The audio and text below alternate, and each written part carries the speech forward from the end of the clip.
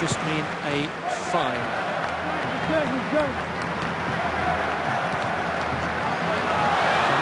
Maybe now has got the chance, and yes, he has.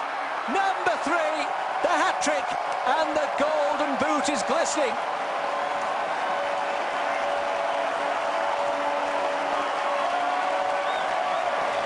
Well, when Mike Magee scored earlier today, taking himself to 21 goals, was it asking too much for Camilo to catch up? Well, he has, and he's overtaken Mike Magee.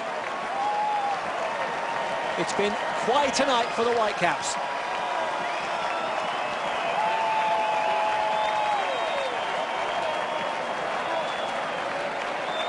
Well, let's take a look. The ball comes in. Yeah, Teibert does a nice job. He goes over the top.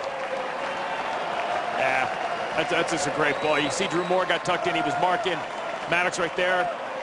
Camilo came from the midfield, made a run through him right behind him, and does a nice job. He just tucks it in the back of the net, and you can see there, there he knows he's got his golden boots.